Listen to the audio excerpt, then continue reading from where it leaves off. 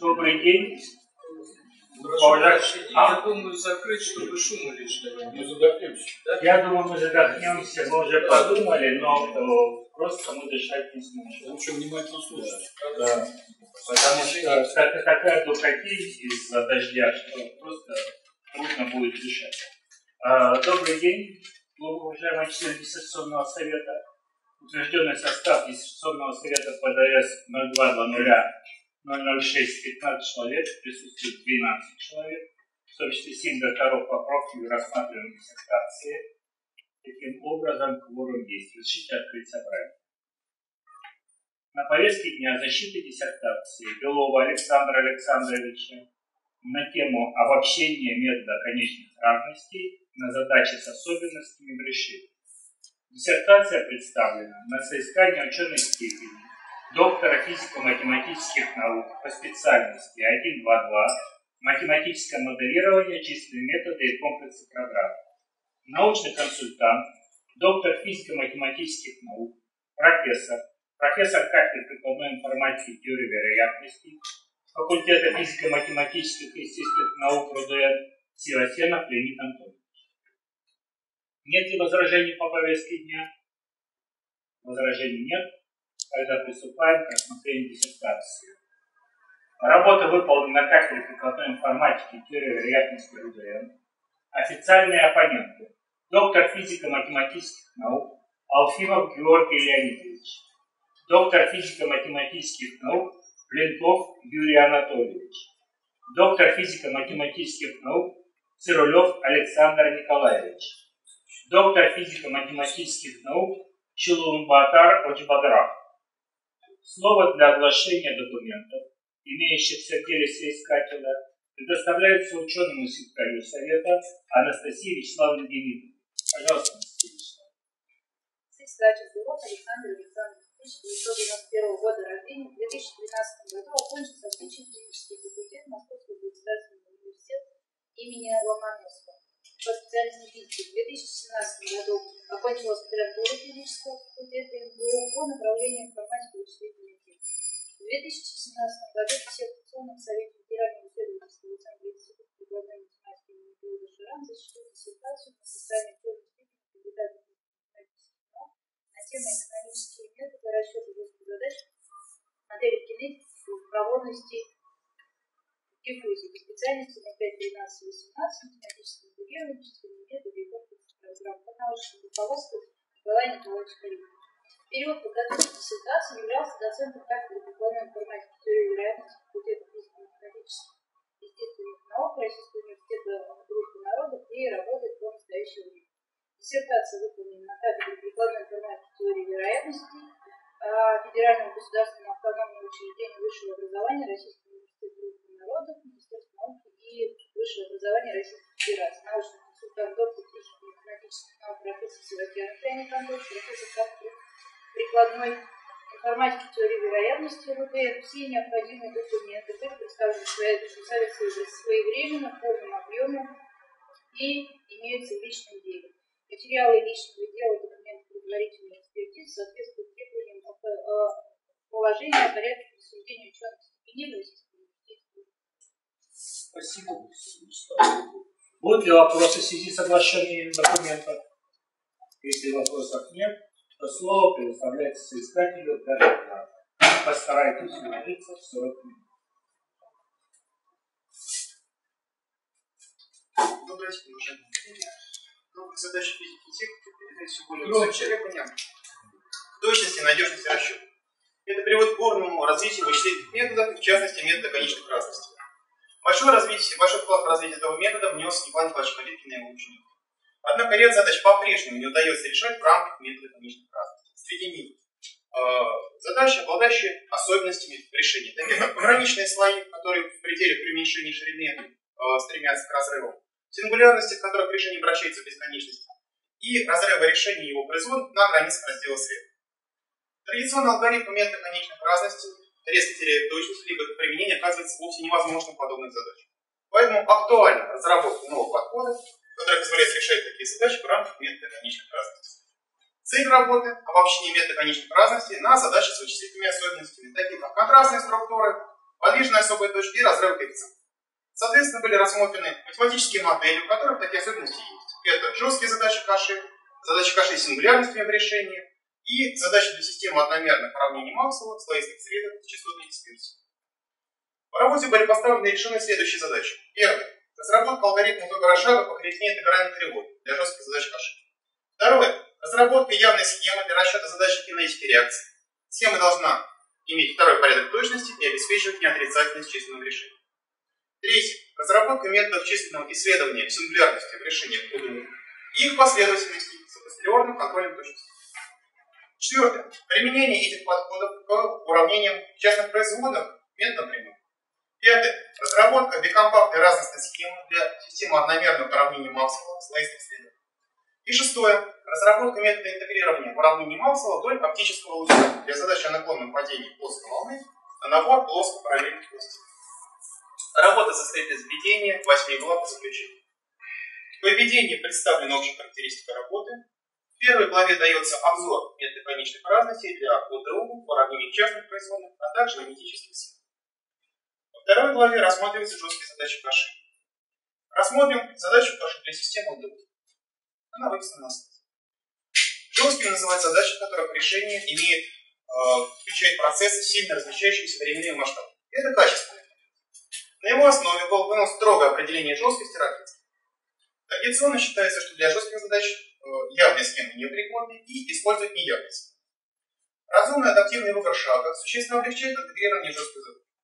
Подавляющее большинство алгоритмов сводится к локальному сгущению либо вложенным схемам.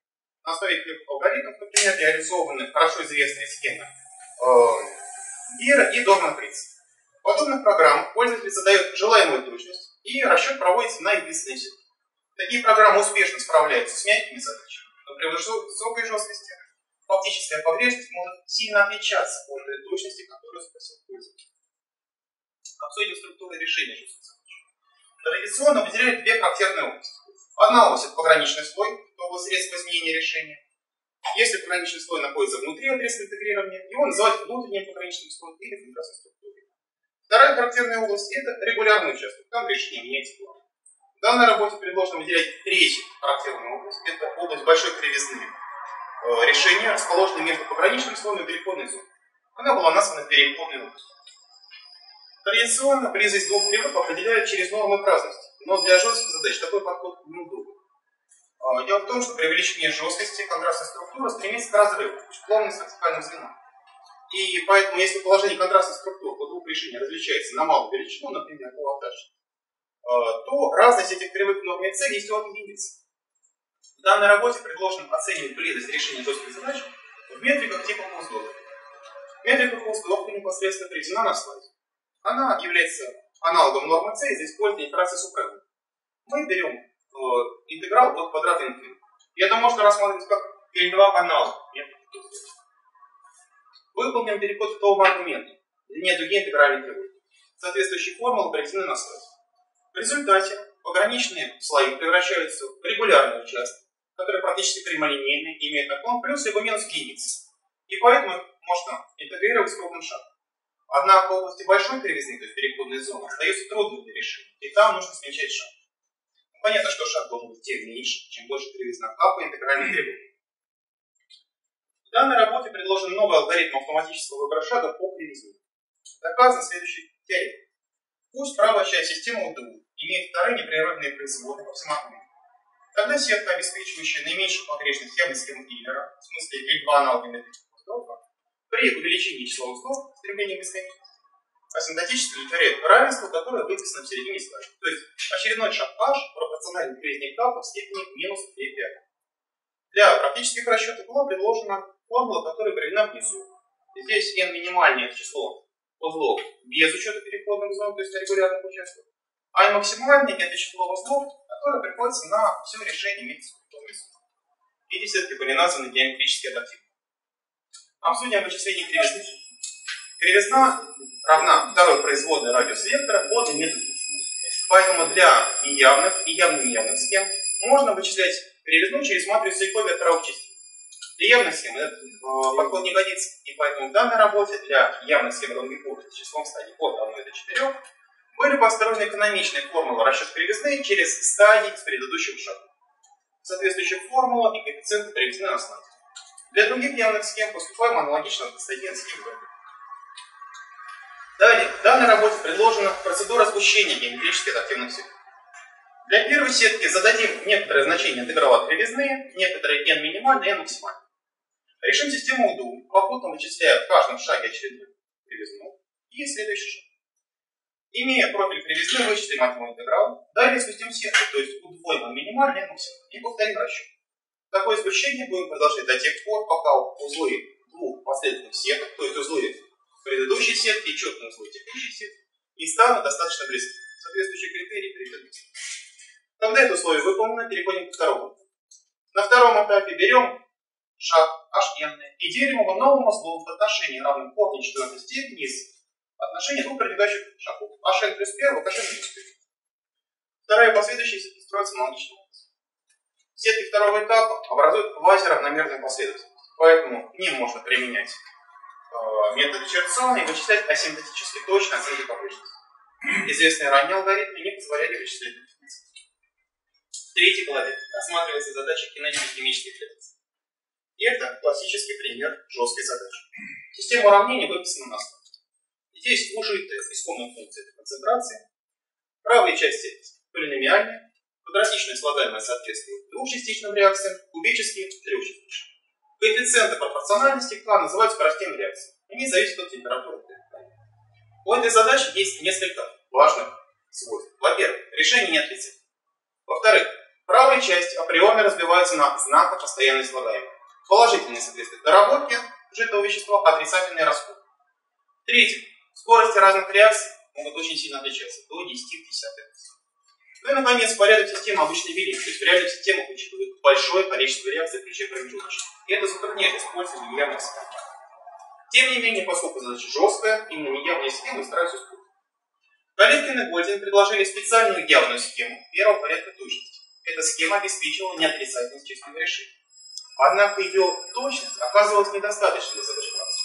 К сожалению, тогда повысить э, порядок точности до второго не удалось. В данной работе предложено интегральное обобщение схемы и Гольдина, имеющей второй порядок точности.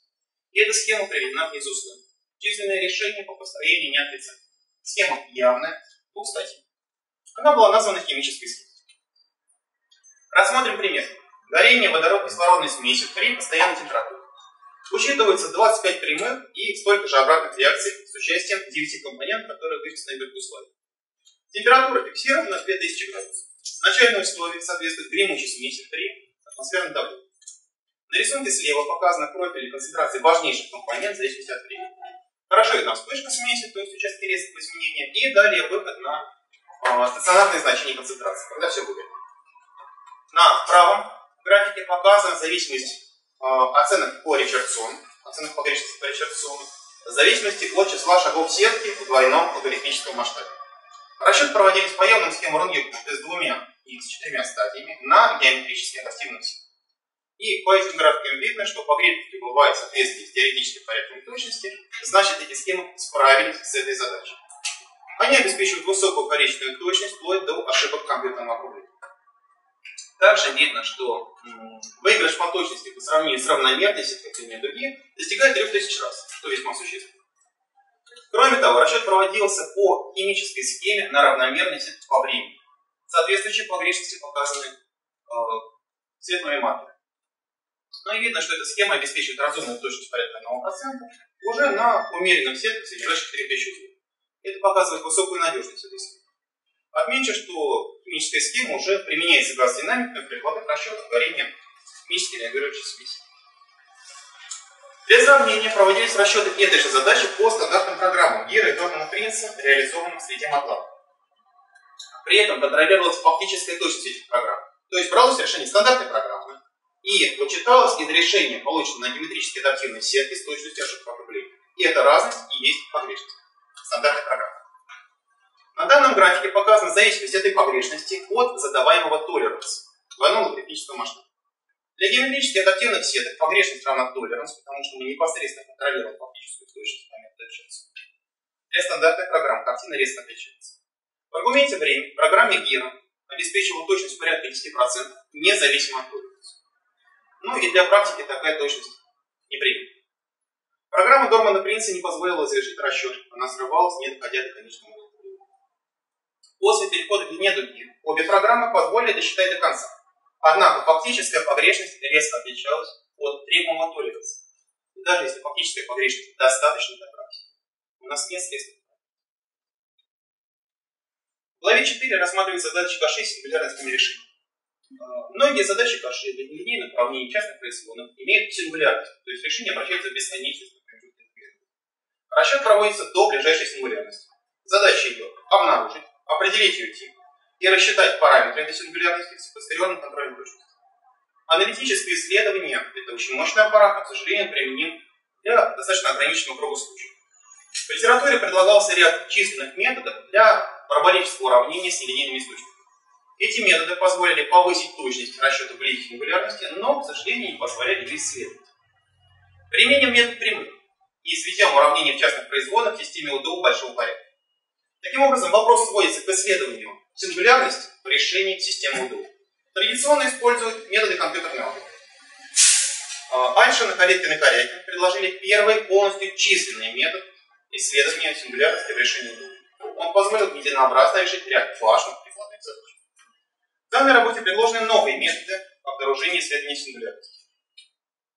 В предлагаемом подходе нужно делать гипотезу о типе особенностей. Чаще всего встречается особенность э, типа алгебраическая особая точка, и ее параметры, то есть момент разрушения t0 и порядок q, рассчитывается по формулам, проведенным в середине слоя. Фактически это разностная схема для q Они вычисляются на каждом шаге сетки, и если при увеличении текущей длины дуги эти значения стремятся постоянно, значит обнаружена особенность, и вот ее параметр. Проводя расчет на случающихся сетках, можем вычислить оценку погрешности для тысяч. Аналогичные формулы были построены для особенностей вида логарифм в некоторой степени и логарифм умножить на алгебраическую особую точку. Рассмотрим пример. Квазилинейное параболическое уравнение, описывающее S-режим нелинейного горения. На него известно точное решение. При каждом x в пространстве координате возникает алгебраическая особенность порядка 1 вторая.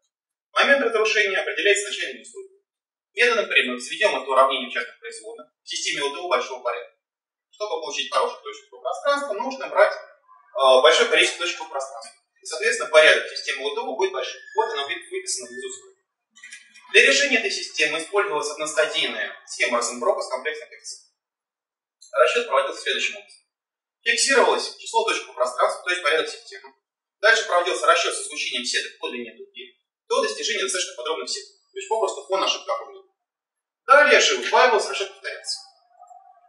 На данном графике показаны погрешность расчета это 0 в зависимости от числа точек по пространству. В двойном логарифмическом масштабе. Видно, что на этом графике есть прямолинейная, а, прямолинейный участок, который соответствует теоретической сходимости. Наклон равен двойка, значит реализуется теоретически второй порядок точности. На этом прямолинейном участке оценки погрешности по Ричардсона хорошо совпадают с фактической погрешностью, найденной от разных точек решения. Таким образом, предлагаемый подход является более простым, надежным удобным для практического использования. Переходим к задачам, у которых есть не единственная особенность, а последовательность алгебраических особых точек целого порядка. Здесь э, необходимо э, продолжить решение за такую алгебраическую особую точку и рассчитать решение с последовательностью таких плюсов. Э, обычно используют расчет в лоб по схеме Рунгекута, однако по мере приближения к особенности точность резко В данной работе предложен новый метод расчета задач каши из последовательности особых точек типа полюс целого порядка. Он был назван методом инверсной функции. Пусть нам известно, что ближайший полюс имеет кратность q и расположен в некоторой неизвестной точке t0. Введем так называемую инверсную функцию, которая выписана вверху слайда. То есть, если у исходной функции u имеется полюс порядка то инверсной функции простой Расчет проводится следующим образом. Решаем исходную задачу для u до тех пор, пока не выполнится два. Во-первых, u возрастает. Во-вторых, отношение правой части f u в степени единичка плюс 1 пункта должно стремиться к константе. Если эти два условия выполнены, значит мы подошли алгоритм особой точки целого порядка. И в этот момент мы переходим к решению задачи для инверсной функции по уравнению выписанного на слайде. И решаем ее. Инверсная функция уменьшается по модулю, проходит через 0, дальше увеличивается по модулю.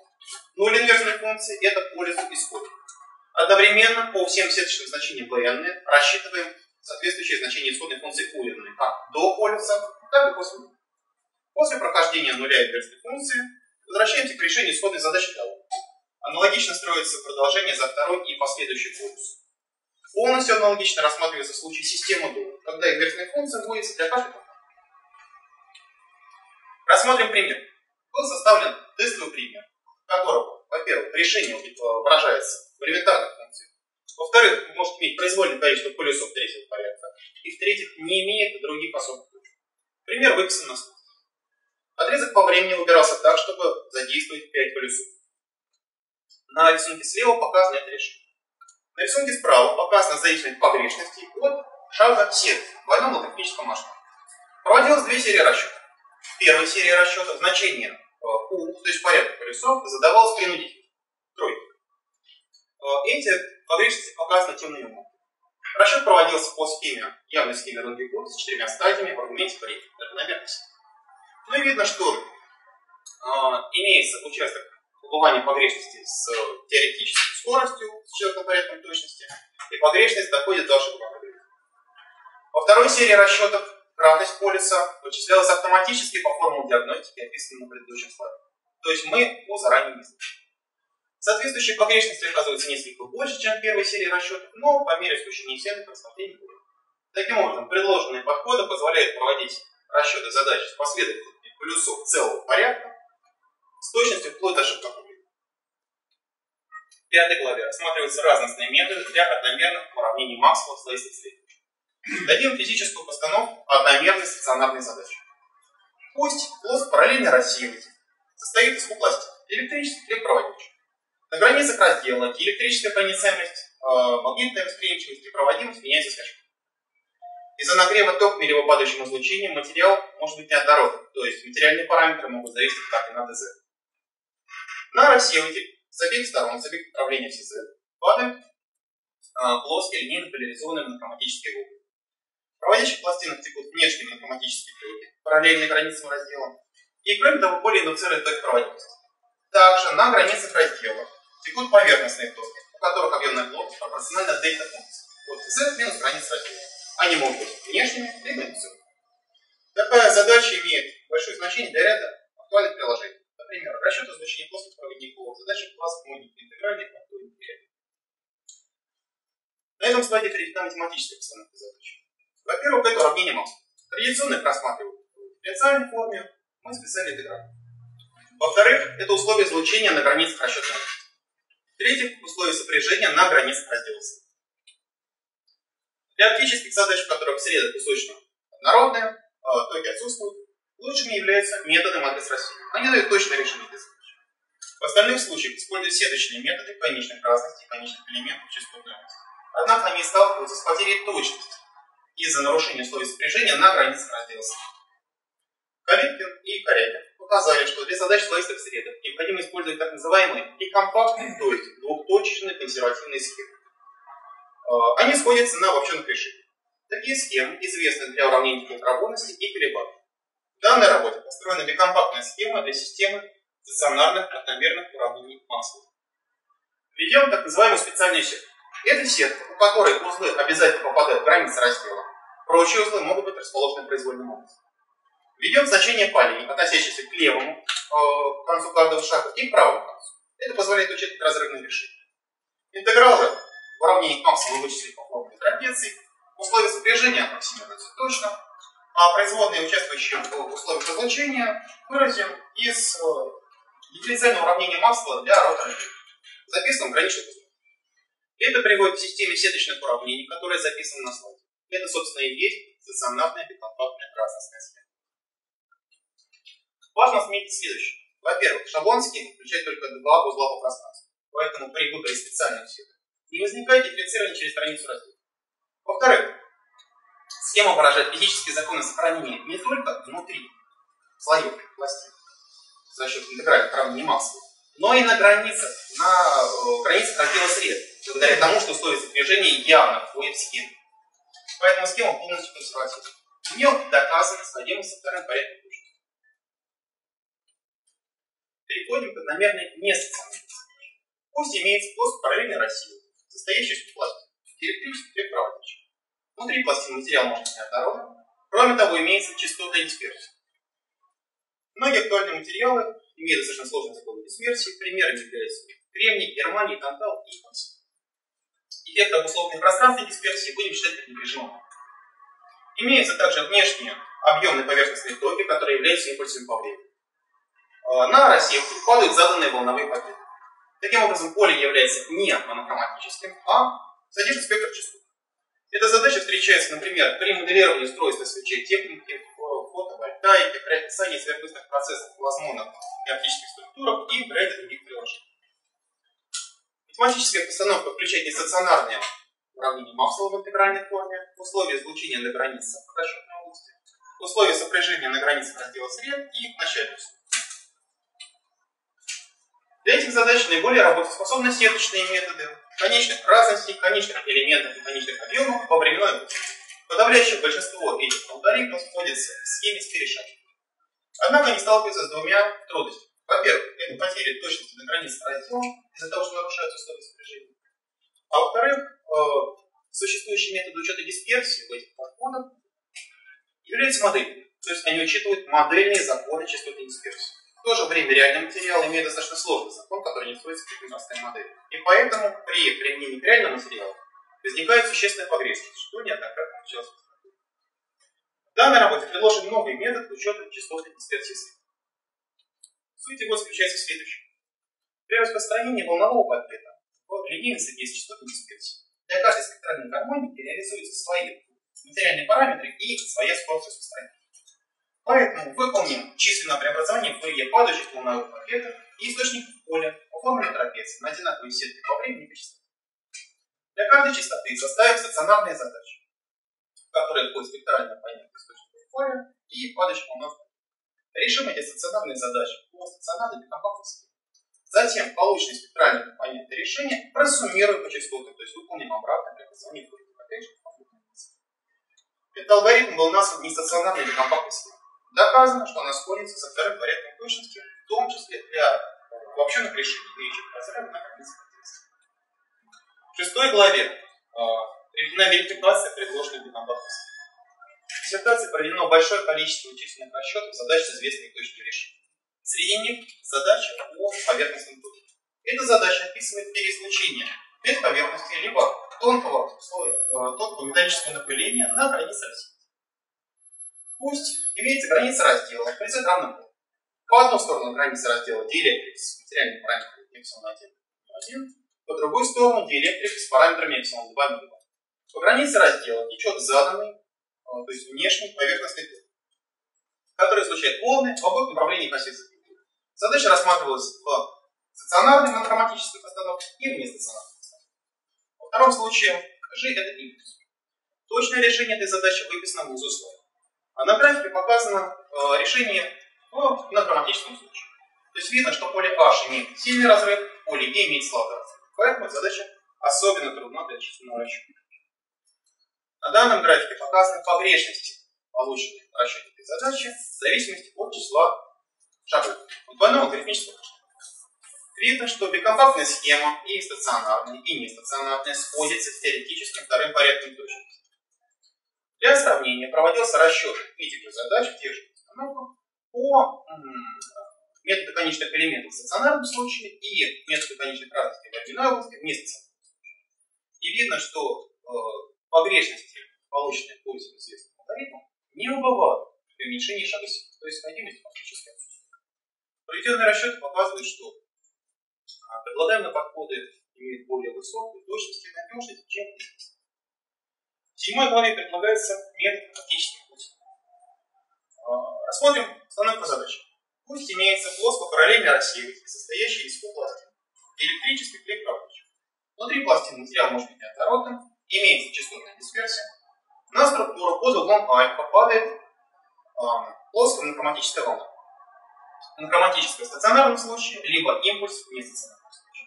Внешних токов нет, проводящих пластинок возможны индуцирование стационарные, а, условия сопряжения на границе раздела, двумерные условия излучения и начальные условия вместо стационарных Также предполагается, что поле имеет определенную поляризацию, если для оптических задач, э, описанных в описанной постановке, лучше всего работает э, метод матриц рассеяния. Значит, постановка для стационарная, среда пустышно-однородная, это во всех остальных случаях используют сеточные методы, причем двумерной реализации. Они сталкиваются с теми же трудностями, что при нормальном падении. То есть повышение точности на границе раздела, во-первых, и во-вторых, в нестационарном случае да, имеется вклад в погрешность от э, модельного учета дискреции. В данной работе предложен метод оптических путей, который состоит в интегрировании уравнений Максвелла вдоль направления распространения падающих и преломленной волны. Этот подход опирается на а, работу коллектива Доброхотов. Этот коллектив предложил интегрирование гиперболической системы вдоль направления распространения колебаний. То есть э, нужно сначала вычислить ключевые траектории, в равне которых распространяется волна на основе вариационного принципа, а затем рассчитать фронт волны вдоль ключевых траекторий. Коллектив Доброхотова применял этот подход для расчета как волновых радиотрасс в атмосфере, распространения гигантских ряд То есть волны распространялись в среде, которая свойства плавно меняются координаты и фактически не меняются. Мы применим этот подход к задаче слоистости. В качестве пространственной координаты выберем направление распространения луча, которое можно найти в принципе карман. Согласно ему, время распространения света должно быть в частном случае для пустышно-однородных сред лучевую траекторию несложно построить на основе законов преломления и отражения. В качестве неизвестных функций выберем сумму комплексных амплитуд, падающих и отраженных волн. Переход лучевых координат – это локальный поворот системы координат. Уравнение Максвелла инвариантно относительно такого поворота, поэтому достаточно модифицировать условия сопряжения, которые выписаны на слайде. Кроме того, нужно учесть, что в новых координатах каждая пластина должна давать такой же набег фазы, как при наклоне пластины. Набег фазы при прохождении э, через типа при первом проходе он выписан на слайде, из этой формулы следует, что вместо исхода физической толщины пластины нужно ввести эффективную толщину равной h курсную скорость, где. Таким образом, двумерная задача о наклонном падении эквивалентна одномерной задаче о нормальном падении на рассеивателе, состоящей из пластин эффективной толщины с модифицированными условиями сопряжения. И расчет этой эффективной задачи можно вести по Запишем две компактные схемы стационарную и нестационарную Например, бикомпактная схема в случае есть поляризации для стационарной задачи, приведена на слайде. В нестационарном случае сводим э, нестационарную задачу к набору стационарных и применяем бикомпактность. Преимущество этого подхода заключается в следующем. Во-первых, нет потерь точности, присущих известным методам из-за учета сопряжения и э, частоты низкости. Во-вторых, одномерный ход, конечно, экономичнее двумерных и требует меньшего вычислительного. В качестве примера рассмотрим Фотонный кристалл. А, пусть структура состоит из семи пар слоев, силициума 2, металл 2, 5. Фотонный кристалл находится в воздухе. Эта структура изображена на левом рисунке. А, под углом 45 градусов направление заданной стрелочки падает плоская математическая волна. И требуется рассчитать прохождение поля через эту структуру. Материальные параметры, а, в зависимости от длины волны, показаны на правом рисунке, то есть текст на длине волны. Отметим еще один важный момент. В идеальном фотонном кристалле граница слоев является параллельной плоскости. Однако в реальном фотонном кристалле из-за технологических ограничений толщины слоев не постоянно, они флуктуируют от точки к точке в фотонном кристалле. Эти флуктуации могут достигать нескольких процентов от размера рассеивателя, и это вносит существенные искажения в спектр отражения потока. В данной работе для учета этого факта предложен так называемый метод виртуального эксперимента. Суть его в усреднении результатов расчетов по распределению флуктуирующих параметров, то есть числам. На этом графике показаны спектр отражения для случая эсполяризации. Левый рисунок – это расчет для идеального фотонного кристалла. И для сравнения проводился расчет по методу матрицы рассеяния, который дает точный ответ для этой задачи. И видно, что расхождение не превышает 0,1%. То есть это тот, та погрешность, которая вносит метод тактических путей. На правом рисунке показан расчет для реального атомного кристалла и сравнение с известными экспериментальными данными в литературе. Э, здесь согласование для экстремума достигает 1,2%, для самих значений отражения 1,4% и изредка до 10%. Это и есть характерная точность такого эксперимента. Таким образом, проведенные расчеты подтверждают правильность метода Сформулируем положение, вносимое на защиту.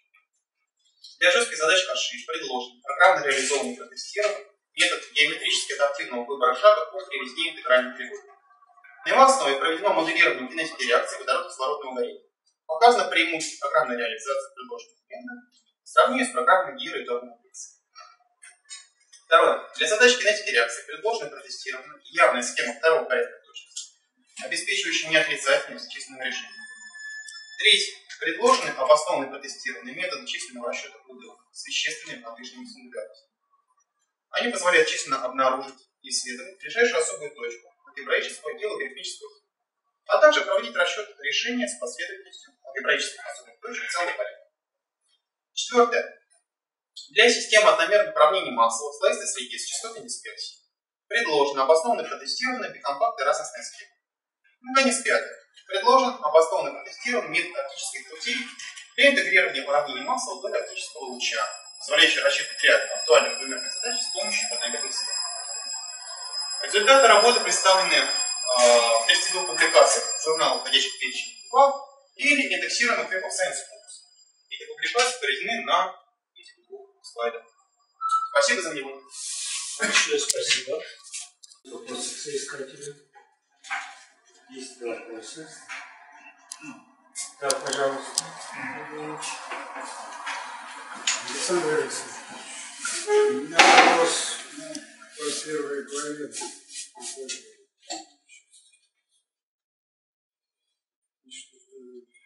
Он может быть состоит, ну, как бы из двух частей. Это что касается выбора ну, адаптивной сетки, да, в зависимости от кривизны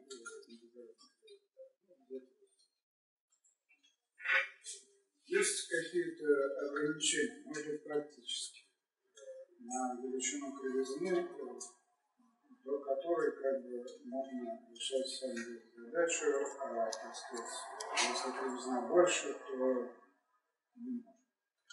Вторая часть вопроса. Правильно я понимаю, мы здесь э, исходим из того, что э, задача э, стоит вопрос только э, о, э, то есть сгущение сетки решает задачу.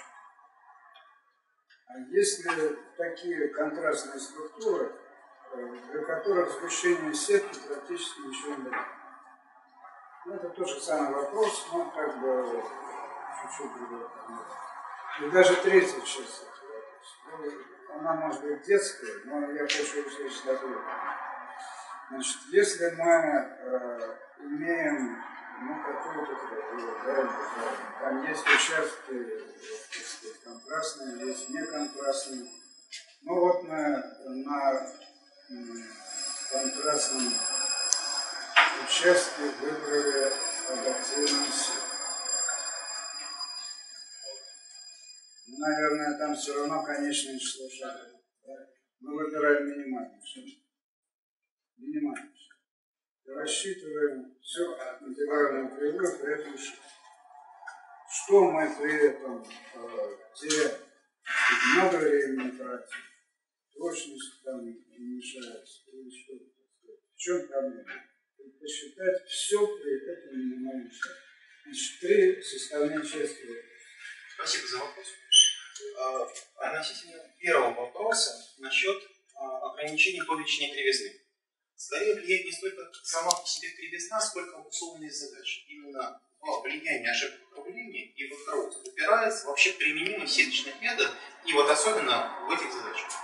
Вот на этой картинке, смотрите, сначала идет, так сказать, регулярный участок, потом кривая отворачивает от регулярного участка. И в этот момент интегральные кривые, соответствующие немножко разным начальным условиям, сильно расходятся. И на регулярном участке вот это численное решение очень близко подходит к корню выраженного уравнения, то есть к точке покоя. И если э, в разности между численным решением и точкой покоя осталось мало значащих цифр, если это близко к ошибкам округления, то это очень сильно портит последующий расчет. То есть нужно либо сильно увеличить разрядность, что, конечно, сказывается на времени расчета на трудоемкости, либо переходить совершенно другим классом методов. Например, асимптотическим методом. И чем больше контрастных структур надо рассчитать, тем больше значащих цифр теряется в решении. Каждая контрастная структура как бы вычеркивает сколько-то знаков из решения достоверно. А, проводился расчет задачи, у которой, казалось бы, ширина погранства не слишком маленькая, кривизна ну, не слишком большая. Но из-за того, что регулярное решение близко налипало на точку покоя, катастрофически терялась точность ошибки округлений, и расчет вовсе никого не удавалось провести. То есть в ответе не было ни одной значащей цифры. Поэтому ответ, если коротко, важна плохая обусловленность. Именно она является фундаментальным ограничением для следующих методов. На вторую часть вопроса, по-видимому, я отвечу примерно так же, если я правильно Касательно третьей части вопроса, конечно, можно взять самый маленький из всех возможных шагов, провести расчет всего, но это будет просто неэффективно, потому что там, где можно использовать крупный шаг, лучше использовать крупный. Лучше сделать один крупный шаг, не потеряв точности, чем 50 маленьких. То есть мы просто потеряем вычислительный работе. Плюс у нас подкопится ошибка. То есть вся адаптация к решению связана с тем, чтобы уменьшить число необходимых шагов для явных схем есть еще одна тонкость, а, связана с следующим. Кривизна вычисляется по данным предыдущего шага. Что у нас будет на следующем шаге, мы не знаем. То есть у нас идет регулярное решение с практически нулевой кривизной. А дальше у нас резко из-за большой кривизны решение будет вниз на пограничный. И мы по предыдущему шагу не можем это понять. При очень большой кривизне. Тогда у следующий шаг будет плохой. Мы сталкивались с такими штуками в, при расчете по лонгитуду. То есть этот факт тоже необходимо отметить в ответ на первые два ваших Удовлетворен, да? Да, спасибо. Есть ли еще вопросы? Вопросов нет. Если вопросов нет, то э, спасибо, можете сесть. Э, нужно объявить технический перерыв, э, но можно не объявлять. Э, нет необходимости в Нет. Тогда э, мы слово предоставляем э, научному консультанту соискателя Севастьяну Рябину. Не о работе, только о соискателе. Спасибо. Белов Александр Александрович, как говорилось, окончил кафедру математики на а, физическом факультете МГУ, там же закончил аспирантуру, работал а, в школе Калиткина Николая Николаевича, ходе работы проявился грамотным, высоко эрудированным специалистом, имеющим широкий профессиональный кругозор и большой интерес к научному поиску. Следует отметить его инициативность, способность самостоятельно ставить актуальные научные задачи и находить нестандартные подходы к их решению. Это свидетельствует о высокой научной квалификации соискателя. В диссертации представлены не все результаты, полученные Беловым. Помимо результатов, непосредственно относящихся к тематике жестких задач, диссертант рассмотрел еще за свою историю предыдущую ряд проблем физики плазмы и получил ряд интересных результатов. В частности, а, в области физики плазмы была решена одна из задач, предложенная через Институт физики и э, исследований и технологий э, для мазеров. И тоже успешно оказалась эта задача. Это показывает широту научных интересов диссертанта. Основные результаты диссертации опубликованы в авторитетных зарубежных и отечественных изданиях, а также представлены в докладах на международных конференциях.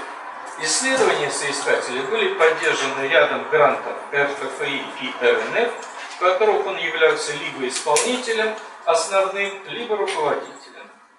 Наряду с исследовательской работой, в ходе работы над диссертацией Александр Белов показался грамотным, эрудированным преподавателем. Он внедрял свои научные результаты в учебные курсы, чем способствовал их существенному обновлению. Александр Белов умеет брать на себя ответственность и пользуется заслуженным авторитетом и уважением среди студентов и сотрудников нашей кафедры, на которой он работает. Ну и в заключение, я считаю, что диссертационная работа об общении метода конечных разностей на задачи с особенностями в решении полностью соответствует требованиям, предъявляемым диссертации на соискание ученой степени доктора физико-математических наук по специальности 1.2.2 математическое моделирование, численные методы и комплексных программ, а ее автор Белов Александр Александрович степени доктора физико-математических наук. Спасибо. Прошу поддерживать. Большое спасибо. Есть ли вопросы к Ирине Антоновичу? Вопросов нет, пожалуйста, а, Поступило в диссертационный совет набор отзывов на автореферат диссертацию. Прошу э, зачитать э, отзывы, полученные на диссертацию автореферат ученого секретаря диссертационного совета Анастасии Вячеславовны. В деле имеется заключение организации Федерального государственного автономного образовательного учреждения высшего образования Российского университета народа, принятое на заседании кафедры прикладной информатики теории вероятности факультета физико-математических и естественных наук, где была выполнена данная диссертация. Содержание заключения положительное. Также в Совет поступило пять отзывов на автореферат и один отзыв на диссертацию. Все отзывы положительные. Если члены Совета не возражают, я полностью зачитывать не буду, сделаю лишь Да, конечно. Положительный отзыв на диссертацию поступила от Аевской Елена Николаевна, доктора физико-математических наук, старшего научного сотрудника, а, заведующий сектора кинетических уравнений Федерального исследовательского центра Института прикладной математики имени Келда Шара. В отзыве дана, дана положительная оценка диссертации, сформулированные замечания, касающиеся задач кинетики реакции, целесообразности посмотрения изотермической постановки и подробного описания алгоритма составления правых частей соответствующей системы ОДУ и задать для системы уравнений Максвелла, целесообразность использования преобразования Лапласа, поведения расчетов тестовых задач различными методами в единообразной постановке. А, первый положительный отзыв на автореферат поступил от Галанина Михаила Павловича, доктора физико-математических наук, профессора главного научного сотрудника Института прикладной математики Келдыша. Рад. В отзыве дана положительная оценка диссертации и даны рекомендации более подробнее описать структуру, процедуру вычисления среднеквадратичной метрики Хаупсдорфа и результаты, относящиеся к кинетике реакции. А второй положительный отзыв поступил, э, на автореферат поступила Деминой Елена Валерьевна, доктор физико-математических наук, начальником сектора номер, номер 4 научного отдела вычислительной физики э, лаборатории информационных технологий имени Щерякова Объединенного института ядерных исследований. Также дана положительная оценка диссертации, и, но отмечены некоторые терминологические замечания. Третий положительный отзыв на реферат вступил Поляков Петра Александровича, доктор физико-математических наук, профессор, профессор кафедры общей физики физического факультета МГУ. А, дана положительная оценка диссертации, указана новизна предложенных подходов, в частности метода геометрически адаптивного выбора шага, метода инверсии функций и компактные схемы для системы уравнений Максвелла. Замечаний отзыв не содержит.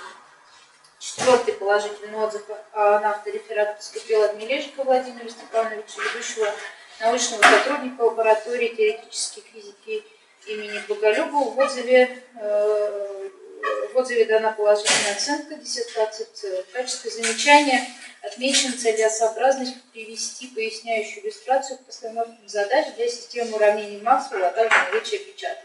И последний положительный отзыв на автореферат поступил от Львова Анатолия Григорьевича, профессора, профессора кафедры математики физического факультета МГУ. В отзыве дана положительная оценка диссертации, отмечена ее ярко выраженная практическая направленность. Замечаний отзыв не содержит. Большое спасибо. Слово для ответа на замечания предоставляется история. Большое Я согласен со всеми замечаниями, которые приведены в отзывах, и благодарю уважаемых коллег, которые отзывы дали и случились проблемы. Совсем очень, очень кратко. А есть ли вопросы к соискателю по ответам? Вопросов нет. Э, большое спасибо. А теперь переходим э, Слово предоставляется официальному оппоненту, доктору физико-математических наук Блинкову Юрию Анатольевичу.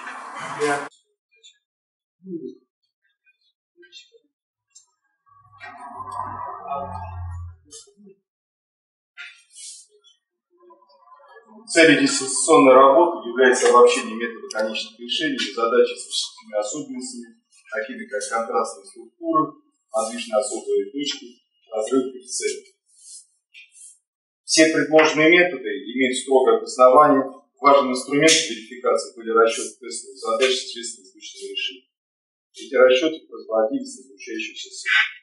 Погрешность вычислялась двумя способами, как разных численного и точного решения, если методу Черцова.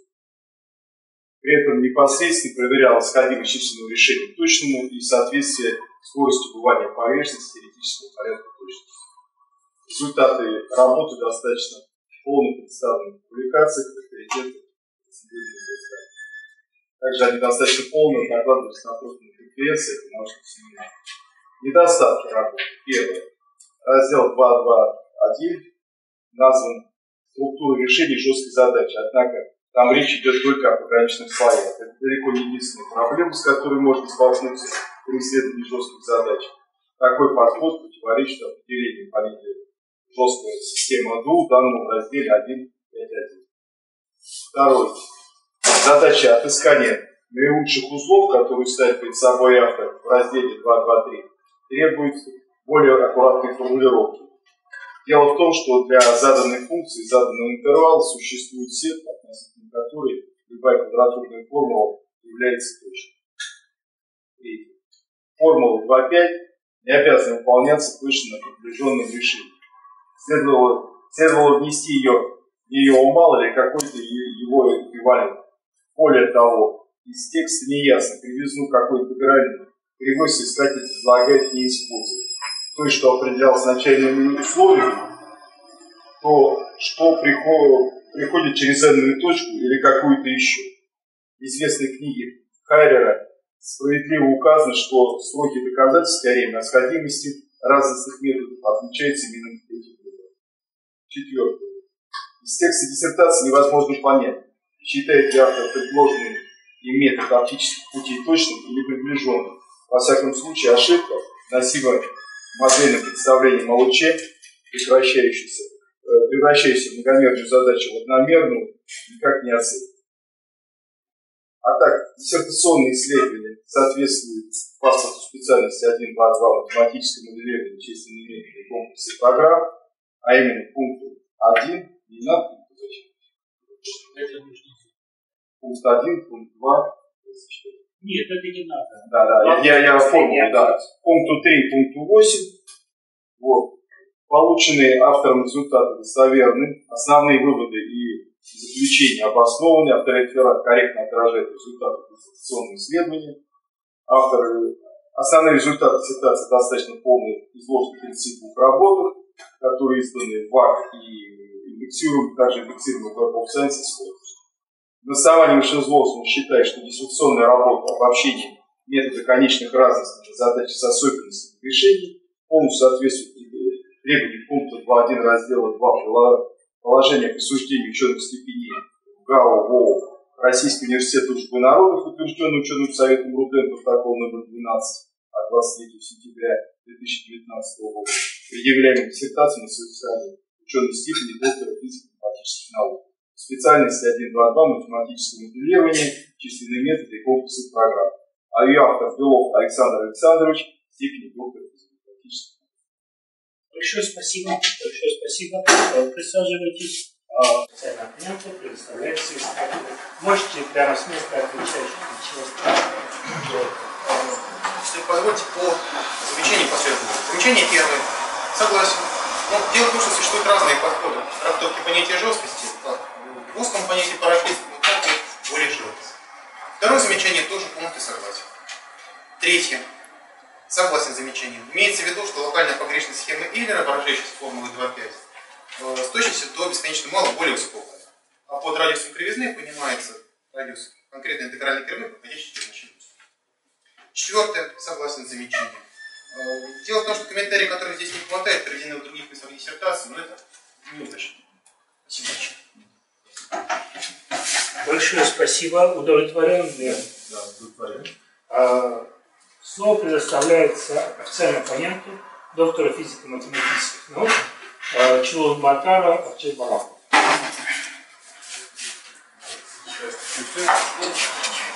Я думаю, что здесь хорошо представить. Громче. Громче. Хорошо представить свою диссертационную работу, но мне написано в районе примерно 10 месяцев сначала. Я думаю, что надо зачитать. Зачитать. Если позволите, я сразу приду сказать. Да, пожалуйста. Недостаточно работает.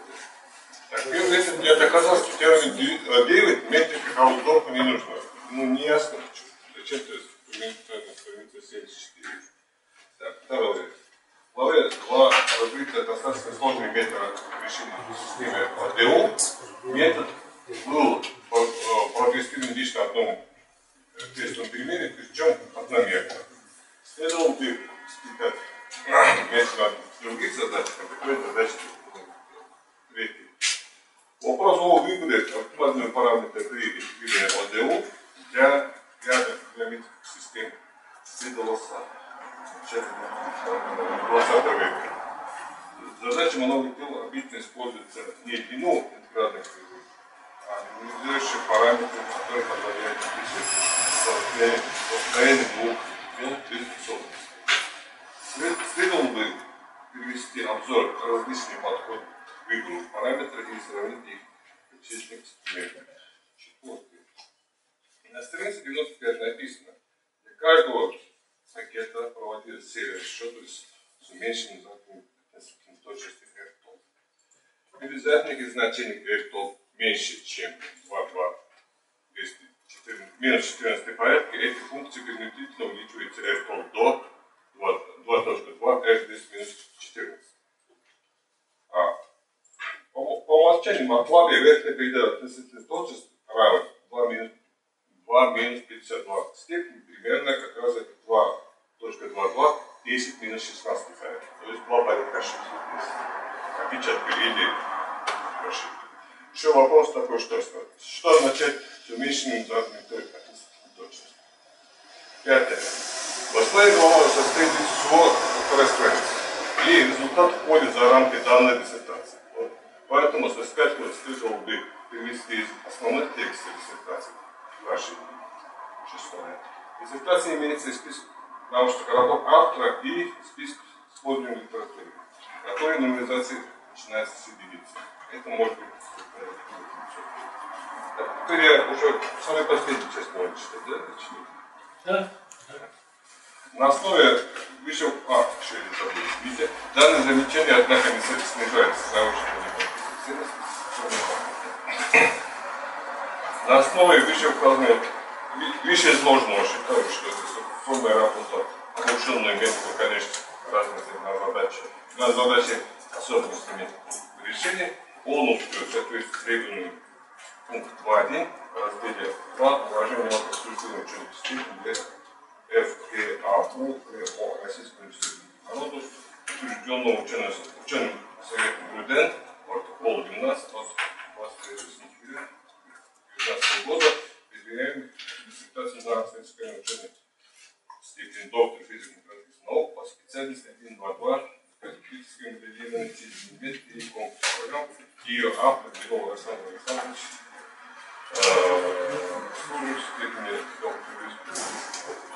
большое спасибо. Есть ли вопросы к официальному оппоненту? А если вопросов нет, тогда просим соискателя ответить на замечание. Первое. Спасибо за замечание. Метрик Кусдорф нужно, чтобы упростить вывод формулы для погрешности. Второе. Также спасибо за замечание. В главе 2 действительно рассматриваются только тестовые примеры, а, собственно, реальная задача кинетики реакции вынесена в отдельный блок. Третье. благодарен за эти замечания. Вопрос выбора оптимального аргумента не рассматривается в качестве основного для данной работы. Хотя, безусловно, это важно. Четвертое. Также благодарю за замечание.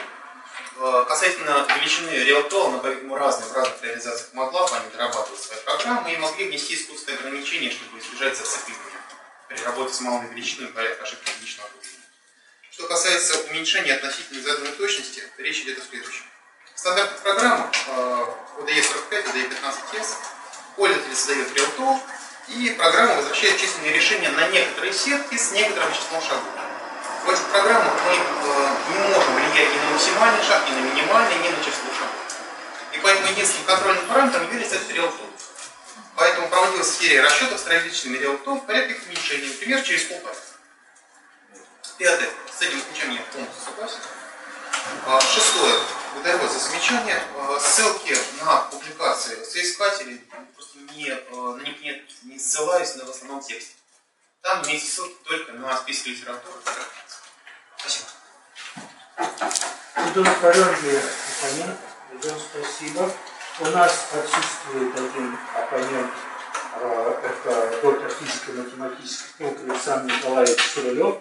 Он прислал э, свой отзыв, поэтому просим зачитать его отзыв. Секретаря Дисциплинарного совета э, Дмитрий Анастасьевич.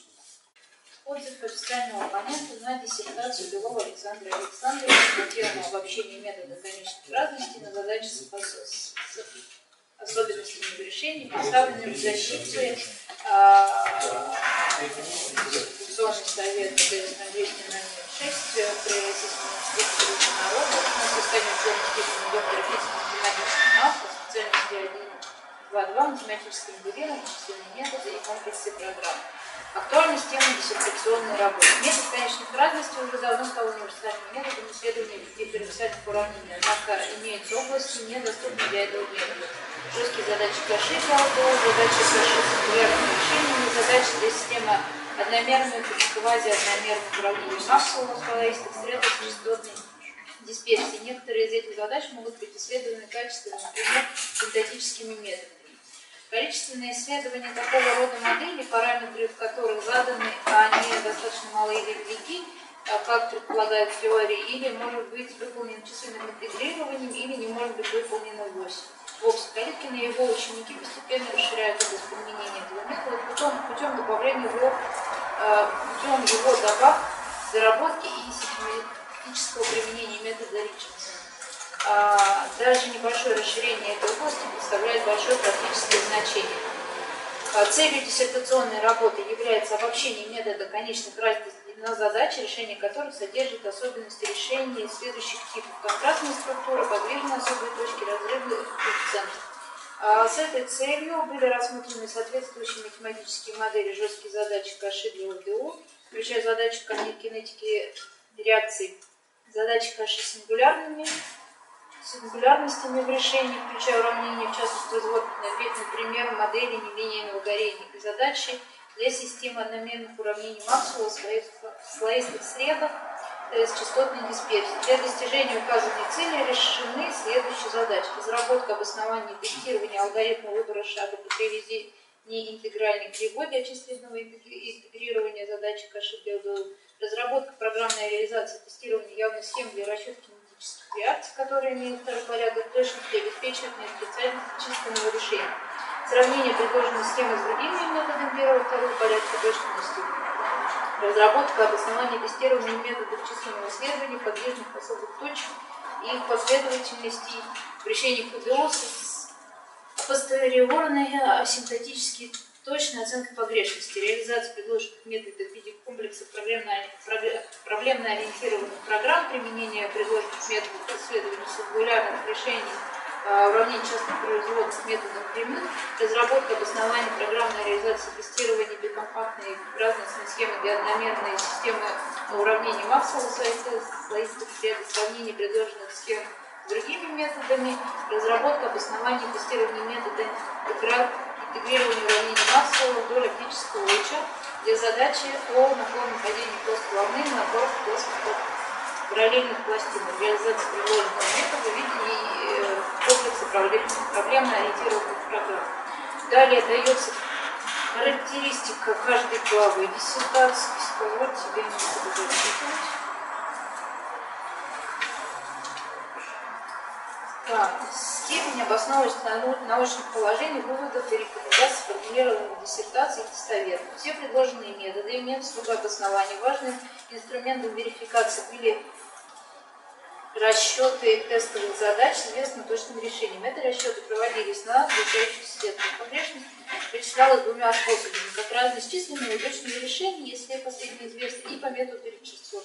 При этом непосредственно проверял сравнимость численного решения точному и соответствие скорости убывания погрешности теоретическому порядку точности. Результаты работы достаточно полно представлены в публикациях авторитетных рецензируемых изданий. Также недостаточно полно докладывались на профильных конференциях научных семинарах. Практическая значимость исследований. Предложенные математические методы существенно расширяют область применимости метода конечных разностей. Причем рассмотренные задачи имеют большое значение для современных приложений. Поэтому результаты диссертации представляют несомненную ценность для вычислителей практиков. Отмечу предложенные диссертации геометрические адаптивные сетки, которые могут заменить на многочисленные известные программы, а, основанные на вложенных схемах слои локального изучения сетки. Методы исследования сингулярности представляют несомненную ценность для специалистов по нелинейным уравнениям в частных производах.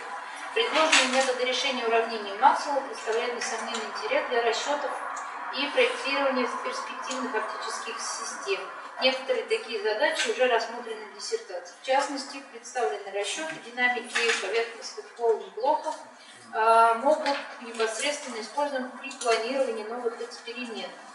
Недостатки работы.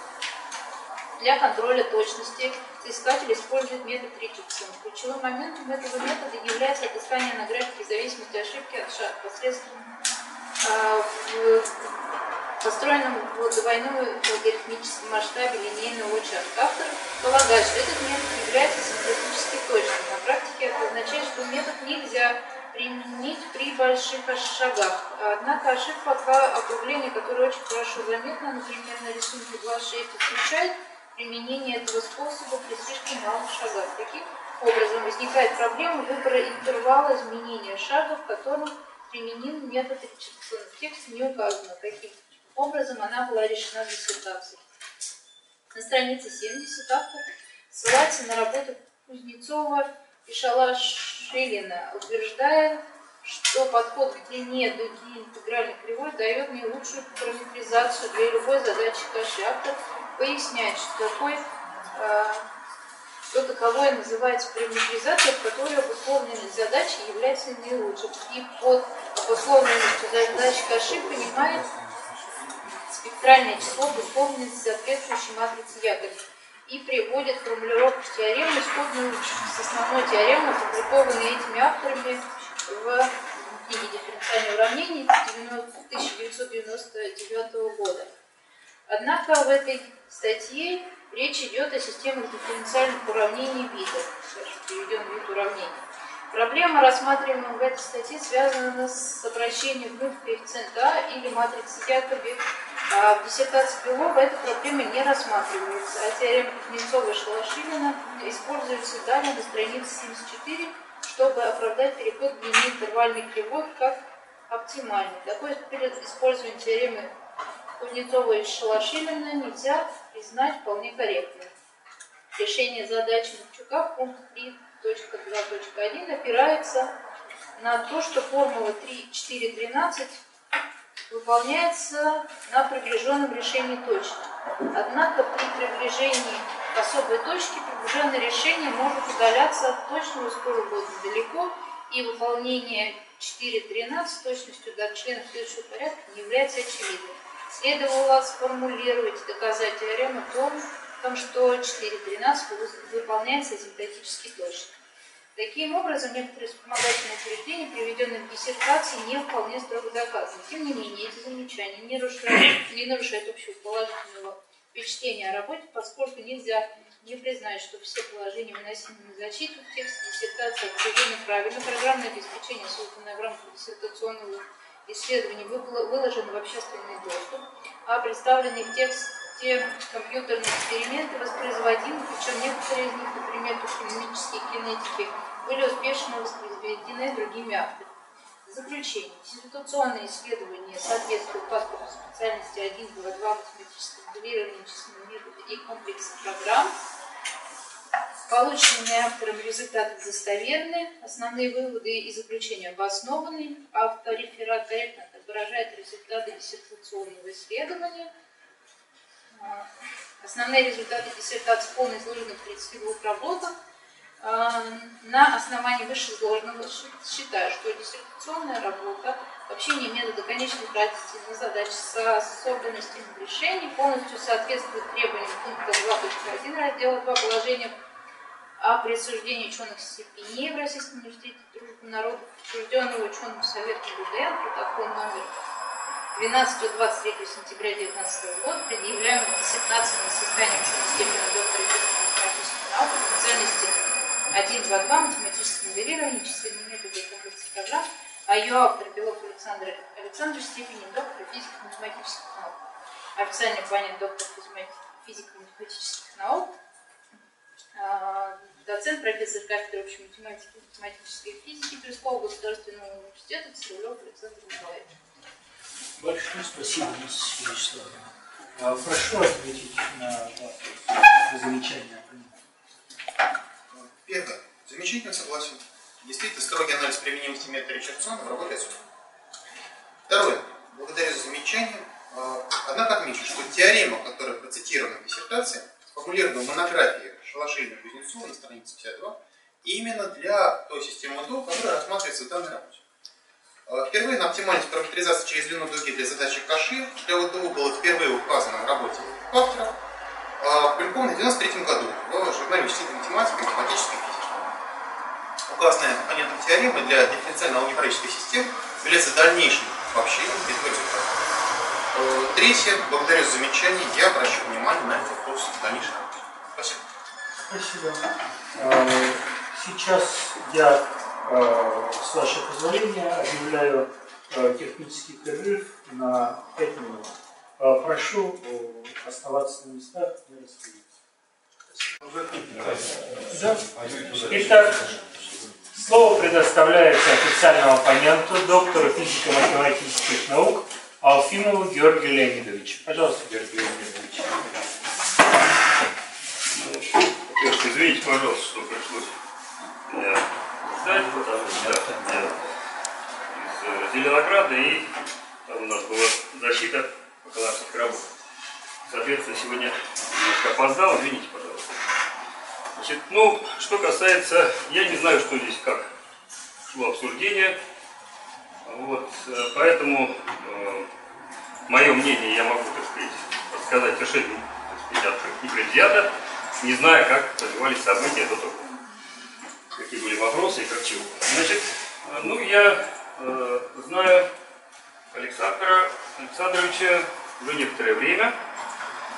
И Александр Александрович был, остается последним учеником Николая Николаевича Калиткина, которого я исключительно уважаю. Вот. Значит, э, так получилось, что школа Николая Николаевича Калиткина, она очень тесно сотрудничала с нашим институтом МИЭД в Зеленограде. Вот, и поэтому мы как-то были всегда в курсе того, что делалось в этой школе. Вот. С работами Александра Александровича я знаю, я знаком ну, уже какое-то время, и кандидатскую диссертацию я его знаю тоже. Вот. И, соответственно, вот сейчас мне выпало оппонировать докторскую диссертацию. Ну, давайте я не буду, наверное, затягивать э, свое выступление, скажу, постараюсь коротко по главам, очень коротко, и э, сформулирую вопросы, которые у меня были. В целом я скажу следующее, что э, э, несмотря на то, что у меня были какие-то вопросы, какие-то были сняты, в основном мои были сняты в разговорах предварительных с Александром Александровичем, у меня осталось благоприятное впечатление диссертации, и я считаю, что она заслуживает того, чтобы быть поддержана. Значит, что касается по главам. Если говорить по главам, диссертация, я читал еще предыдущий вариант диссертации, который был на 450 страниц. Это был, конечно, огромный труд, и с его стороны, и с моей тоже получилось. Вот. Ну, по главам, тогда, значит, э, что касается тек- текущей нумерации глав, ну, опустим первую главу, которая была вводной, вторая глава. У меня там не возникло вопросов, там предложен метод, некий метод автоматического выбора шага при приближении к э, точкам, в которых возникают проблемы. Да? Значит, э, третья глава э, посвящена э, кинетике реакций. Там у меня были микроскопические замечания, надо сказать, но в основном все, по-моему, мне показалось вполне разумно. Четвертую главу, как раз она представляет собой наибольшее пересечение наших интересов, вот, а именно она посвящена диагностике сингулярности. Вот. И, соответственно, я знаю эту деятельность довольно давно и со стороны Николая Николаевича, со стороны Александра Александровича. Вот. Здесь у меня было какое-то количество вопросов, я их потом сформулирую. Что касается пятой главы, пятой и шестой глав, они посвящены э, решению уравнений Максвелла при помощи бикомпактных схем. Вопросы у меня там были в основном э, такие косметические, связанные в основном с иллюстративным, с иллюстрацией того, как это все значит, можно было бы описать и представить. Потому что, конечно, мне показалось неправильным, что в этих э, главах не было ни одной схемы, ни одного рисунка того, как устроены эти слоистые структуры, про которых идет речь. Ну и седьмая глава, там она посвящена э, методу оптических путей, ну, где там нет вопросов тоже. Ну и, соответственно, восьмая глава мне показалась просто лишней. Вот, но там ничего особого и нету. То есть это было просто, она и не выносится на защиту. Вот. Замечания я могу формально зачитать, могу неформально просто про них немножко сказать. То есть, э, что касается неких моментов, связанных с, ну, скажем так, ссылок, э, по поводу ссылок, кто что сделал, ну, я Александр Александрович об этом сказал, по поводу того, например, а, как развивались события вокруг метода экстраполяции Ричардсона. Да, то есть, в общем, конечно, здесь было очень много всего, и можно было про это рассказать. Неважно. Значит, что касается, э, опуская малосущественные замечания, на мой взгляд, э, косметического плана, ну, прям мне хотелось бы, чтобы э, те схемы, которые Александр Александрович упоминает, были все-таки каким-то образом приведены и описаны подробно. Значит, э, про химические схемы есть мне показалось, что некие утверждения о том, что порядок точности равен числу итераций, я это отразил в отзыве, соответственно, Александр Александрович в курсе. Вот, значит, э, мне не показалось утверждение очевидным, показалось, что хотелось бы, чтобы это было как-то пояснено. Какое-то количество замечаний, наибольшее количество замечаний у меня связано с четвертой главой, которая у нас имеет э, ну, как-то определенные точки соприкосновения. Вот, здесь э, э, замечания связано и с терминологией, и с э, некоторыми уточнениями. Вот. Значит, эм, ну, например, я, например, совершенно не могу согласиться с тем, что Александр Александрович считает, что численный обход вокруг точки с выходом в комплексную плоскость для прохождения через особенность э, неконструктивен. Я так всегда делаю, у меня, в принципе, работает. Значит, ну, я, это, так сказать, вопрос все равно, так как он предлагает свое, и, так сказать, я считаю, что это, э, в общем, то, что он делает, это, в общем, ну, скажем, вполне заслуживает внимания. Ну и э, э, я так понимаю, что зачитывать подробно замечания будет неправильно, особенно в моей ситуации опоздавшим. Э, простите, лучше да. их зачитать, чтобы э, понимали ответы. Обязательно зачитать замечания все. И обязательно зачитать последнюю а, конечно. специальную клаузу. Да. Все остальное ну, давайте, ваш выбор. Хорошо.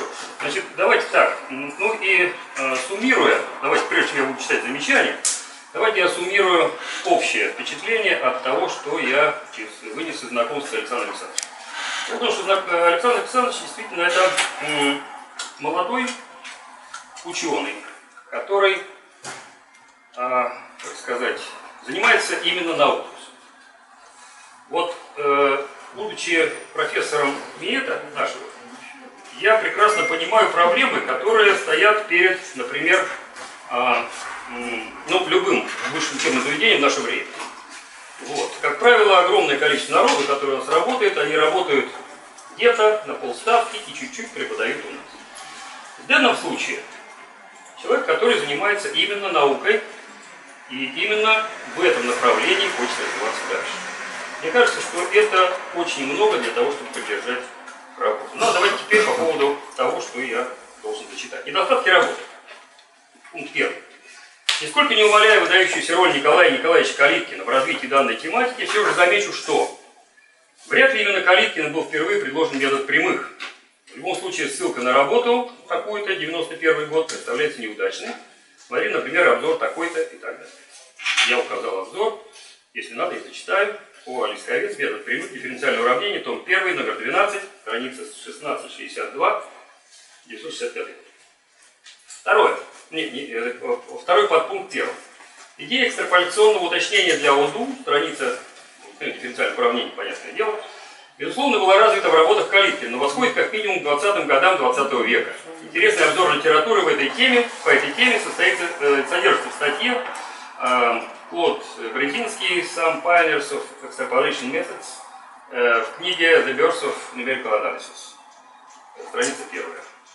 А, в частности, в эту статью включены цитаты из соответствующей работы Ричардсона, он ссылается на публикации Боголюбова и Крылова, в том числе 26 года, а, в которой подобный подход также обсуждался.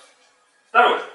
Я думаю, что помимо списка иллюстраций было бы очень полезно иметь список схем, которые э, упоминаются в работе. Это бы существенно упростило чтение. Как мне кажется, стоило бы в начале работы ввести четкое определение, что такое схемы ERK2 и ERK4, искушенному читателю понятно, но, строго говоря, эти сокращения не определены. Что такое DOR-P5, который называет то DOR-P5, то схемой Дормана Принца. А, что есть э, C-ROS, ну, Розенброка схема, понятно, да, и C-ROS4 и так далее. Например, в разделе 2.4.2 говорится о четырехстадийной обратной схеме Румбикута. Похоже, что это ранее описана схема Борг. Так ли это? Третье. Разделе 3.2.3, страница 114, про химические схемы говорится, что порядок точности равен числу итераций. Мне не показалось это утверждение очевидным, если имеется в виду произвольное число итераций. Наверное, этот момент стоило бы пояснить. Пункт 4. Некоторое количество связанных между собой замечаний относится к главе 4. А. Согласно традиционной терминологии, точка ветвления – это и есть критическая точка в смысле определения 2. Критическая алгебраическая точка – это точка ветвления конечного порядка. Логарифмическая особенность – это точка ветвления бесконечного порядка. На мой взгляд, некорректно называть такую особенность полюсом. Страница 145. Б. В теореме 10 стоило бы указать, что такое Q от U, V, T. Предполагаю, что множество полиномов от U и V с аналитическими по коэффициентами. В. Уравнение 4.10 попадает в рассматриваемый класс только если не рационально. Наверное, это стоит указать. Г. Думаю, ссылка 4, она есть в работе Голубев, э, э, классическая книга при обсуждении особенностей решения дифференциальных уравнений будет весьма уместно. Д. На странице 158 предполагается, что f от u имеет p непрерывных производных. В какой области по u имеет смысл затребования вопроса? Кроме того, если u от t имеет в точке t со звездой простой полюс, то она разлагается в некоторые проколотые окрестности точки Град-Лорана 4.38. Причем сумма является бесконечной. Соответственно, u от, э, u от t э, имеет в этой проколотой окрест даже бесконечное число производных, а не p плюс 1. Е. Правильно ли я понял, что на странице 158-162 сравниваются возможности разных схем для перескока сингулярности при счете с постоянным шагом? Несмотря на то, что разложение 4.38 однозначно определяет значение решения справа от полюса, крайне неожиданным является точное попадание на эти же значения, на эти значения при проходе через сингулярность, так как будто ее нет. И традиционным условием при выводе численных схем для задачи каши является ограниченность решения. Ж. Не могу разделить мнение, что численный обход, вот то самое, значит, э, особой точке с выходом в комплексную плоскость неконструктивен. По крайней мере, мой опыт говорит об обратном. Пятое. Отсутствие рисунков слоистых структур, рассматривающих в главах 5-7, существенно затрудняет чтение. На мой взгляд, стоило бы проиллюстрировать постановки задач в этих главах, изобразить не только сами структуры, но и расположение узлов бикомпактных схем. 6. Выделение результатов, выходящих за рамки диссертационных работы в отдельную главу, глава 8 две страницы, мне не кажется правильным. Ну, да.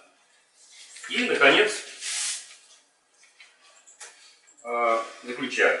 На основании вышеизложенного считаю, что диссертационная работа обобщение метода конечных равенств на задачи с особенностями решений полностью соответствует требованиям пункт 2.2 раздела 2 положения о присуждении ученых степеней в э, Российском университете дружбы народов, утвержденного ученым советом РУДН, протокол номер 12 от 23 сентября 2019 года, предъявляемый диссертацией на соискание ученой степени доктора физико-математических наук по специальности 1.2.2 математическое моделирование, численные методы и комплексы программ. А ее автор Белов Александр Александрович, степени доктора физико-математических наук. Большое спасибо. Есть ли вопросы к Георгию Леонидовичу? Если вопросов нет, пожалуйста, присаживайтесь. А, то прошу соискателя ответить на замечание. Первое замечание будет картофель ссылка. С замечанием согласен. В первом подпункте ссылка выбрана неудачно. Отмечу, что э, метод перемота используется до Константина Самарского еще в 1950-е годы в ходе работы над термоядерным проектом. Калитнов тоже входил в состав этого коллектива, но по понятным причинам эти результаты не публиковались в открытом части. В частности, тогда возникла задача распространения тепловой волны в высокотемпературный плазмы. Э, она же волна Самарского сока. И хорошую схему для этих задач удалось построить только в 2010-е годы, опять же, Николаем Николаевичем и учеником Ильей Кушевым. Э, второй подпункт замечанием согласен. Благодарю оппонента за определенный ссылку. Второе. Согласен с замечанием. Э, под аббревиатурой БОР действительно понимается оптимальная обратная схема Рондрикута. Третье. Согласен с замечанием. Здесь в диссертации неудачно сформулирована мысль. Имелось в виду, что порядок точности равен числу итераций, если итерация одна, либо две. Э, для трех большего числа итераций порядок точности не повышается, второй. И, кстати, это отмечено в диссертации на странице 112, но, по-видимому, автор уехал в другое место, что не. Четвертое. По пунктам. Пункт А. Благодарю вас за замечание. Отмечу что я пользовался определениями из книжки Кудряшов «Аналитическая теория нелинейных дифференциальных прав» 2004 Б. Согласен с замечанием. Имелось в виду, что вот это множество Q – это множество полинов, многочленов по V с аналитическим коэффициентом. То есть рассматриваются уравнения, в которых скромная функция производная входит полиномиальным образом. В. Требование рациональности не является обязательным. Ну, кстати, когда мы читаем на компьютере, у нас все равно все числа рациональны, поскольку с конечной. Г. Замечанием согласен. D также согласен с замечанием. Имеется в виду, что у от T это аналитическая функция, некоторые проколот окрестности полюса, чтобы можно было строить разложение вред. За пределами этой окрестности у нас, собственно, гладкость функции определяет выбор нашей схемы. Е. На странице 158-162 действительно проводились расчеты на равномерность по. Проводилось большое количество расчетов, они действительно показали, что осуществляется перископ, схема, конечно, должна быть для этого неявной, и действительно решение попадает на правую асимптоту. И э, имеет место сходимость, хотя и очень медленно. Ж. Полностью согласен с вашим замечанием. Замечание 5 и 6 также с ними согласен. Спасибо. Большое спасибо. Удовлетворен ли официальный оппонент? Большое спасибо. А теперь переходим к дискуссии. Кто хочет выступить по... Э, Михаил Дмитриевич, пожалуйста. Спасибо.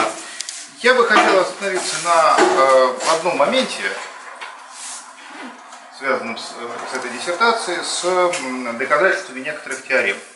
Мне э, представляется, что местами доказательства выполнены не совсем аккуратно.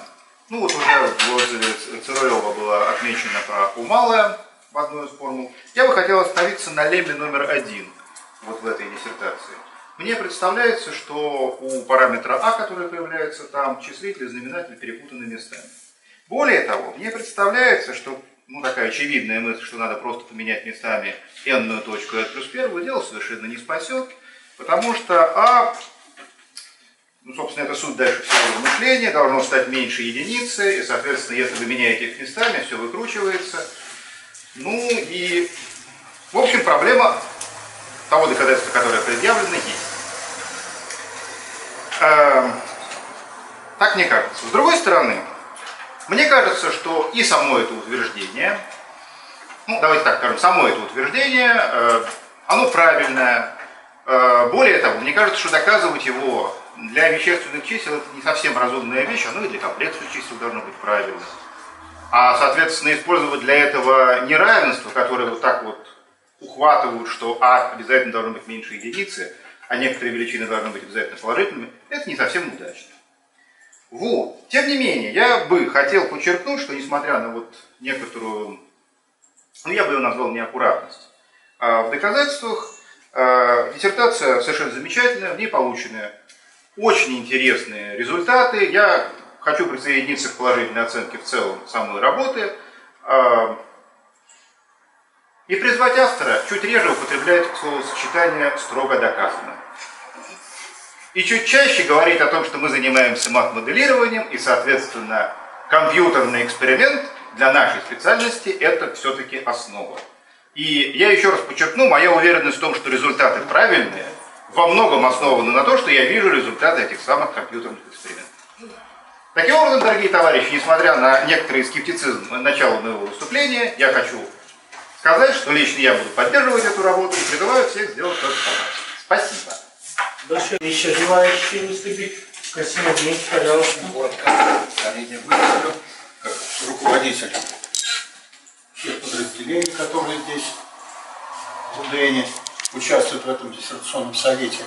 Ну, во-первых, сидел и думал, что я давно не видел такой концентрации крупных ученых э, в этом здании, да и вообще, да, которые слушают такую работу.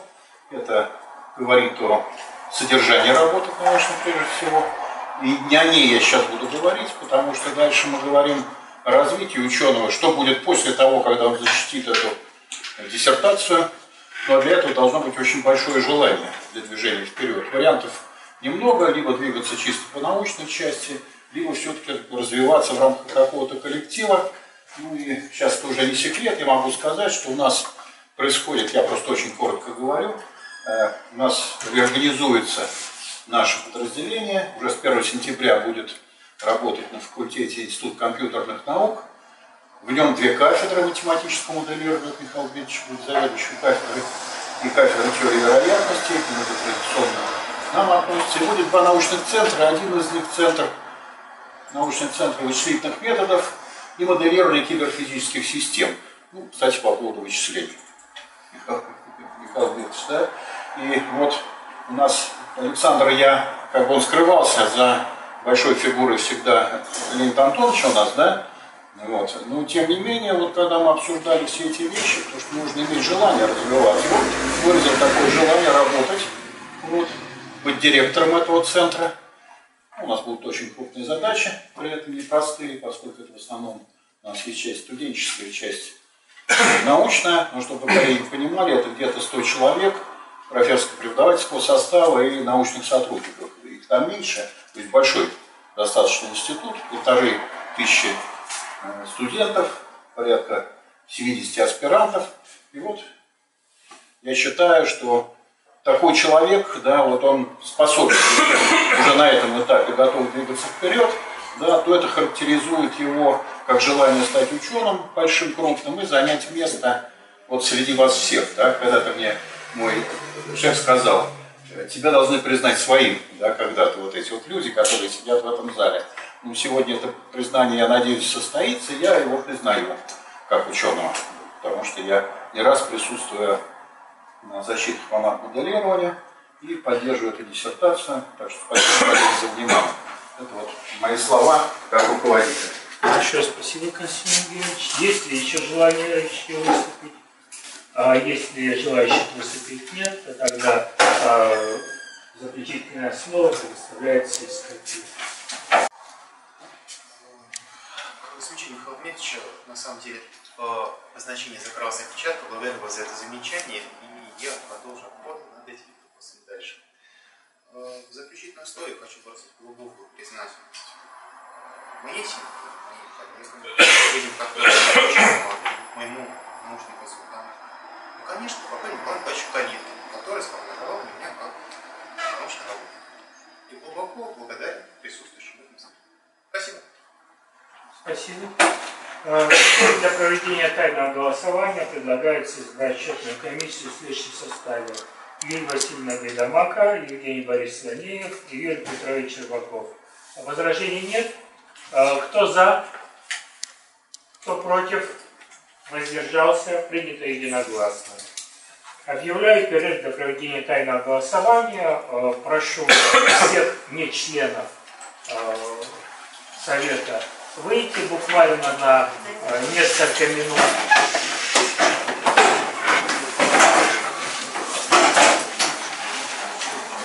Зевать, пожалуйста, не надо. Листочки. А, а, а,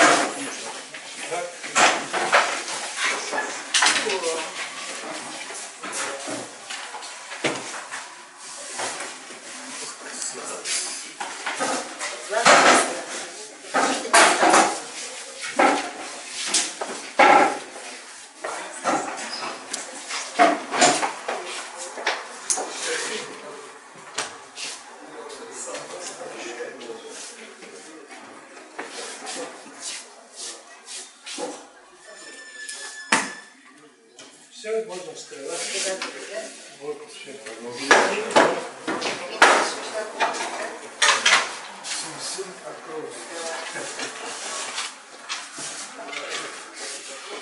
А, кто-то сложил.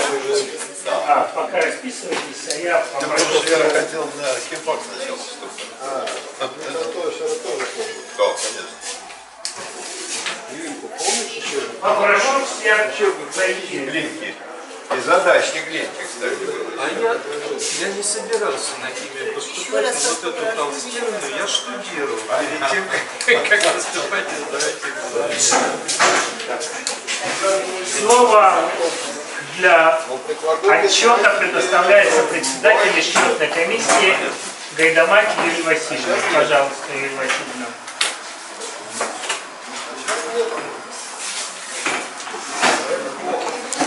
Уважаемые участники, заседания, протокол заседания счетной комиссии а, для подсчета голосов при тайном голосовании по диссертации Белова Александра Александровича. Состав диссертационного совета утвержден в количестве 15 человек, а, введено 0 человек, присутствовало на заседании 12 членов совета, в том числе докторов по специальности рассматриваемой диссертации 7, роздано бюллетеней 7, а осталось нерозданными 3, а оказалось в урне 12. Результаты голосования по вопросу о присуждении ученой степени доктора физико-математических наук Белову Александру Александровичу. За 12, против 0, недействительных бюллетеней 0. У меня все. Большое спасибо, Юрия Васильевна. Кто за утверждение протокола счетной комиссии, прошу голосовать. Кто за, против, воздержался, принято единогласно. Нам нужно принять заключение по рассмотренной диссертации. Проект заключения при- всем был предоставлен. Есть ли дополнения или изменения по а, заключению? А, Если дополнений изменений нет, то а, прошу голосовать. Кто за принятие текста заключения? Кто за? Против? Воздержался? Принято единогласно. Таким образом, диссертационный совет установил, что диссертация на соискание ученой степени кандидата физико-математических наук, представленная Беловым Александром Александровичем, является научно-квалификационной работой, в которой содержится решение важной проблемы, создание новых подходов к исследованию моделей с вычислительными особенностями и обобщение метода конечных разностей для мира. модели кинетики реакции, описываемых жесткими задачами Каши для АДУ, модели, описываемых задачами Каши с сингулярностями в решении, включая модели, описываемые уравнения частных производных, задач для системы одномерных уравнений Максвелла в своих средах с частотной дисперсией. Предложенные численные методы реализованы в виде комплексов программ, протестированы и используются для расчетов реальных прикладных задач. Работа отвечает всем требованиям, диссертациям на соискание ученой степени доктора физико-математических наук по специальности 1.2.2 математическое моделирование методов и комплексы программ согласно пункту 2.1 раздела 2 положение о присуждении ученых степеней в Федеральном государственном автономном образовательном учреждении высшего образования Российский университет Дружбы народов, утвержденного ученым советом РУДН, протокол номер 12 от 23.09.2019. На основании тайного голосования Белову Александру Александровичу присуждается ученая степень доктора физико-математических наук по специальности 1.2.2 математическое моделирование, численные методы и комплексы программ. Есть ли у присутствующих замечания по ведению собрания? Если замечаний нет, то позволя... разрешите поздравить Александра Александровича с успешной защитой диссертации. Повестка дня текущего заседания исчерпана. Большое спасибо. А, объявляется перерыв на полчаса. А, Вы можете э, на кафедру пройти чая.